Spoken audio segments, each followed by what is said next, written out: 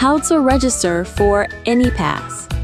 You must have phone number and email which you entered when you purchased the tickets. Step 1. Phone number authentication. First, install the app from the App Store or Google Play. Launch the app, please tap Agree to the terms and policies and register as a new. Please tap the button to send SMS or make a call. If you have Android, phone number is authenticated automatically. After phone number is verified, please click the Next button. Step 2. Email address verification.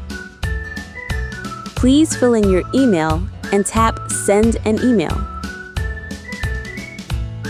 If you don't receive an email, please try it using another email address. You will receive the email from AnyPass. Please click the URL on the mail.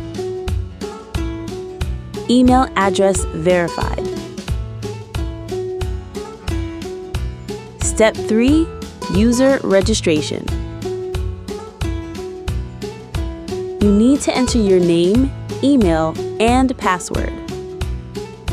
And select birthday, gender, and country to create your account. Registration completed.